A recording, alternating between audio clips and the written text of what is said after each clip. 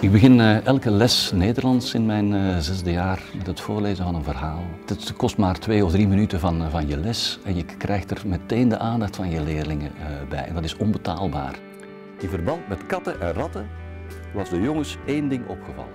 Zij vinden het leuk omdat het geen leerstof is, omdat ze daar niks voor hoeven te doen. Ze hoeven alleen maar te luisteren.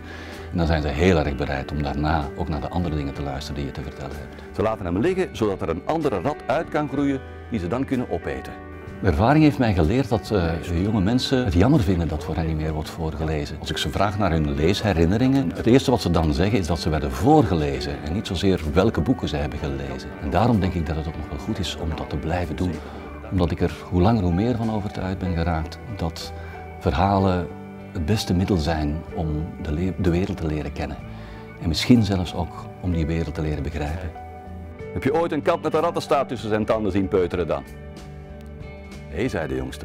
Maar heb jij ooit een kat met vieze tanden gezien? Ik geloof dat het een, een hulpmiddel kan zijn om ze, om ze het belang van verhalen en ze te laten voelen wat ze met verhalen kunnen doen, uh, om ze dan alsnog toch weer opnieuw bij die boeken te brengen.